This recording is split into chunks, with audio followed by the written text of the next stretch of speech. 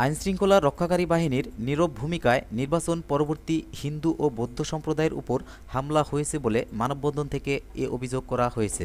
মঙ্গলবার বিকেলে জাতীয় প্রেস ক্লাবের সামনে বিভিন্ন সংগঠনের পৃথক পৃথক বিক্ষোভ মিছিল ও মানববন্ধনে একথা বলেন বক্তারা। বাড়িতে অগ্নিসংযোগকারীদের গ্রেপ্তার করা না হলে কঠোর আন্দোলনের হুঁশিয়ারি দিয়েছেন বিভিন্ন হিন্দু ও বৌদ্ধ সম্প্রদায়ের সংগঠনের নেতারা। সংগ্রাম আমাদের অধিকারের সংগ্রাম। আমরা রক্ত দিয়েছি। প্রতি গ্রামে গ্রামে হিন্দু বাড়ি থেকে হামলা হচ্ছে। কয়েকটা অন্য কোনো সম্প্রদায়ের মানুষের গায়ে হামলা হচ্ছে না।